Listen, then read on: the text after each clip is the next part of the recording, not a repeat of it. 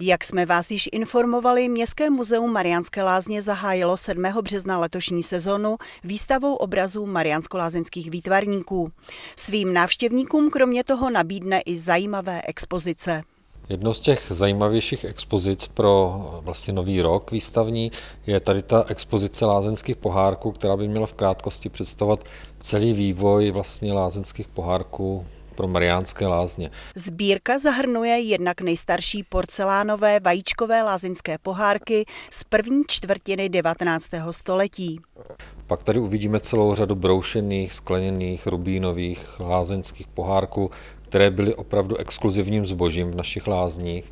A další část pohárků lze přiřadit k významným osobnostem. Jako lázeňský pohárek císaře Františka Josefa I., číšku anglického krále Edvarda VII. nebo lázeňský pohárek, ze kterého pil při poslední návštěvě v Mariánských lázních prezident Václav Klaus. Lázeňské pohárky nesloužily pouze k léčbě pitnou kůrou, ale byly i krásným a neobvyklým suvenýrem z lázní.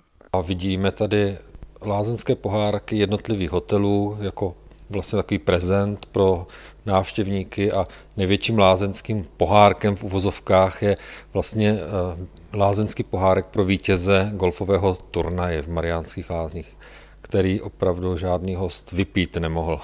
Do konce května nabídne muzeum návštěvníkům putovní výstavu nazvanou Šťastný život v secesi, 100 let staré rady a návody, ale hlavně jak vytvořit fungující a vkusně zařízenou domácnost. Tuto výstavu máme zapůjčenou z brněnského letohrádku Mitrovských od autorů pana Lukase a Marouška, kteří vlastně zhromáždili eh, celý soubor tady těchto krásných věcí, které souvisí se právě tím šťastným obdobím eh, secese, ke kterému se někteří nostalgicky stále vracejí. Záměrem této výstavy je nahlédnout do běžných domácností secesní doby a objevit věci neobyčejně obyčejné, kořeněné dobovým humorem a společenskými konvencemi.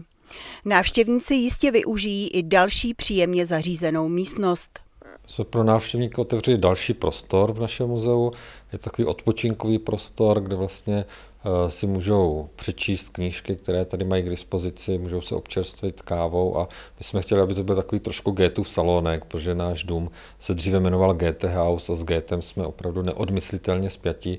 O tom, jak se muzeum postupem času vyvíjelo, hovoří galerie fotografií na stěnách.